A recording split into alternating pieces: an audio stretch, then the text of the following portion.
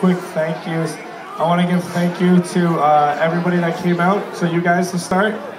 Uh, everyone, uh, all the bands that played, especially the Artist Life and uh, the Flatliners. Uh, it's not easy for bands uh, at that level to come up for something like this, so it's awesome that they would. And we're truly grateful for that. And a special thank you for some anyone of the, the Skinner family that came out. That's that's awesome. So, as it was just said, Mr. Tidridge is a teacher at this school, and uh, a good friend of Chris's wanted to uh, wanted to give a speech right now, right before the Flatliners played, and uh, but uh, he's uh, he's not here, so Griffin's gonna Griffin's gonna read you uh, Mr. Tidridge's speech. All right, I promise it's almost as good as the Flatliners. All right, all right, this is from the desk of Tidridge. They say that you can have a conversation with the great writers of our world by reading their words and immersing yourself in the worlds that they have created. The same is true for Chris Skinner. Only with him, he must be experienced in order to be understood. When I want to feel his presence, I watch his set at Fred that was posted on YouTube last year.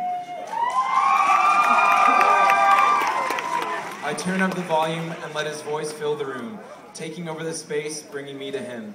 His face and movements are those of a young man lost in the sound and story of his song. It is such a pure moment. Like that moment at Fred, it is impossible to interrupt Chris, to ask him a question or tell him something. To do that would be to claim his moment, to shatter the life that flowed through his body, his voice, and out into the world. We all now try to claim a bit of Chris.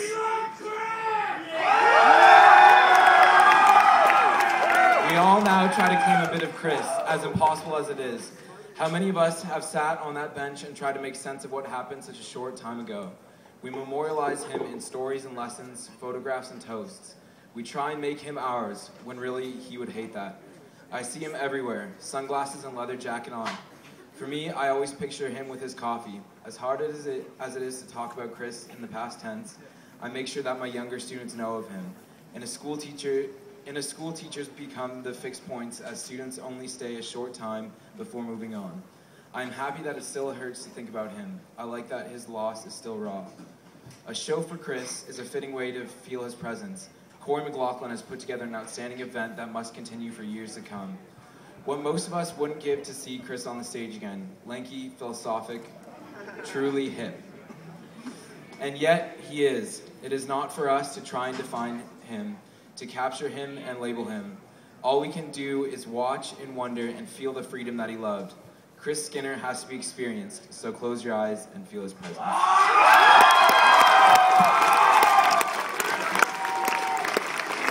All right, so just give these guys a couple more minutes, and uh, they'll get going. They need no introduction. This is the Flatliners.